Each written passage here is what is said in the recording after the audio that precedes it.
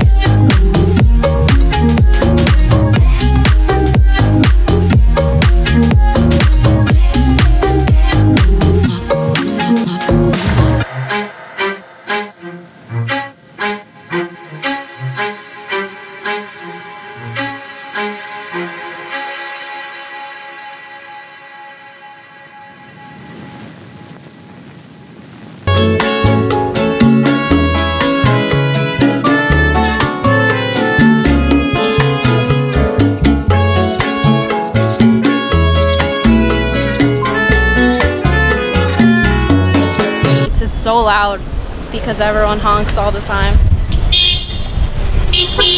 Like that. Uh, yeah, so I don't really come down here that much because it's just not, there's nothing I really need down here. Um, any chain stores are, there's more where I live. I live like 10 minutes from here. Um, but as you saw, there's like a Subway, McDonald's, and then a bunch of little corner stores for things. And here's Jen. I think it's so weird because no matter like where you are here, you run into someone you know, even though there's over a million people in this city. I just don't get it. We always see someone that we know. So